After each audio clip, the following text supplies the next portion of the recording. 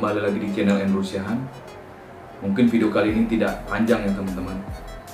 Karena saya hanya ingin bercerita tentang hilangnya DJ FPV Tron yang baru dipakai hanya sekitar dua kali.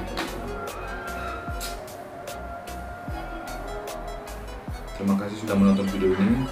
Bagi yang baru menonton video di channel saya, saya ucapkan selamat datang dan jangan lupa tekan tombol subscribe teman-teman. Nah, langsung saja kita bahas tentang hilangnya DJ FPV drone. Bagaimana bisa terjadi? Sebelum saya lanjutkan cerita teman-teman, satu-satunya bukti yang bisa kita lihat adalah rekaman 30 detik terakhir sebelum drone tersebut hilang yang ada di DJI FPV Google V2 Saya tidak tahu apakah fitur itu juga ada di V1, namun fitur itu sangat membantu. Karena kebetulan saat kejadian itu terjadi, memori tidak ada di masukkan ke dalam Google itu. Jadi hanya mengandalkan rekaman 30 detik terakhir itu. Bagaimana sih kejadiannya teman-teman? Kenapa drone terbaru DJI FPV drone bisa hilang? Nah, langsung aja teman-teman, kita lihat bersama video rekaman terakhir dari DJI FPV drone berikut ini. Ini dia.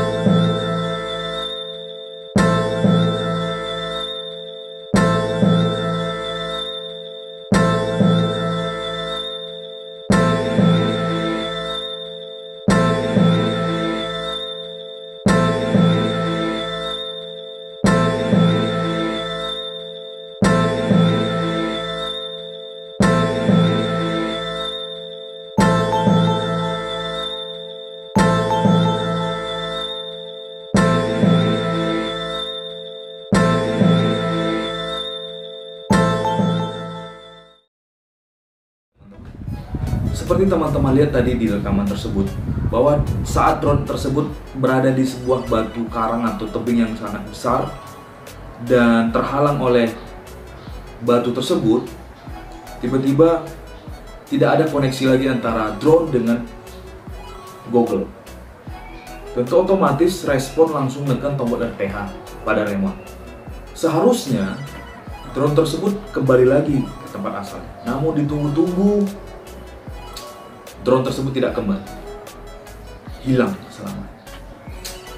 Jadi sudah dikirimkan email ke pihak DJI, namun sekarang tinggal menunggu respon.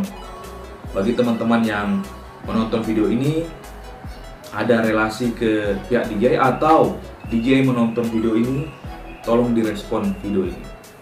Kenapa bisa tombol RTH-nya tidak berfungsi? Kenapa drone-nya tidak kembali? Apa sih sebenarnya yang terjadi? Apakah memang FPV drone ini belum sempurna firmware-nya, sistemnya? Dan apa yang harus saya lakukan terhadap kejadian tersebut? Oke teman-teman, itulah cerita saya tentang hilangnya DJI FPV drone.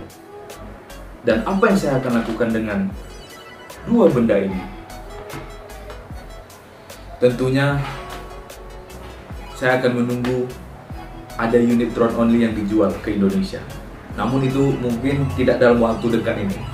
Nah, sambil menunggu waktu tersebut, saya akan gunakan DJI FPV Google ini untuk bermain kuat FPV digital. Jadi teman-teman itu tadi cerita singkat saya tentang kejadian hilangnya DJI FPV drone yang baru dipakai kurang lebih dua kali teman. Dua kali terbang hilang selamanya. Oke apa yang akan saya lakukan dengan kedua benda ini? Ikuti terus channel saya teman-teman. Semoga kejadian ini tidak ada menimpa teman-teman yang memakai DJI FPV drone. Oke? Apa pun yang terjadi dalam hidup kita, jangan lupa bahagia dan selalu jaga kesehatan. Sampai ketemu di video selanjutnya. See you. Mana drone papi? Hilang. Hilang, di mana? Ah, di sana. Siapa yang buat hilang? cinta. Ah, Bukan Dinda sayang.